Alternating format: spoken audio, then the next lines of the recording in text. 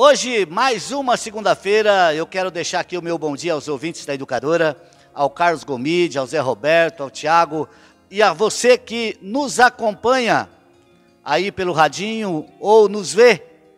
O meu bom dia mais uma vez e que Deus abençoe a sua semana.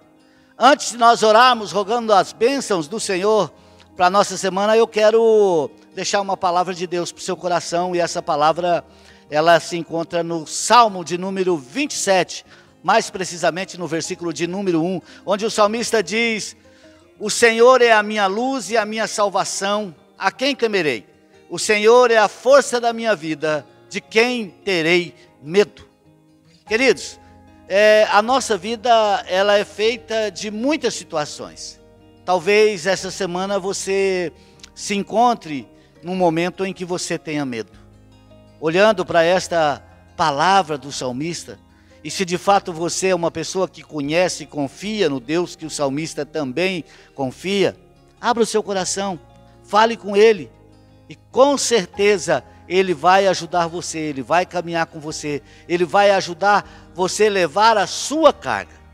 Então, não tenha medo, busque no Senhor, por mais difícil que seja a situação, por mais difícil que seja resolver o problema, Deus estará, Deus está com você. Deus abençoe a sua semana, uma semana abençoada. Vamos orar. Deus amado, nós queremos agradecer ao Senhor pelo privilégio de mais uma semana que se inicia.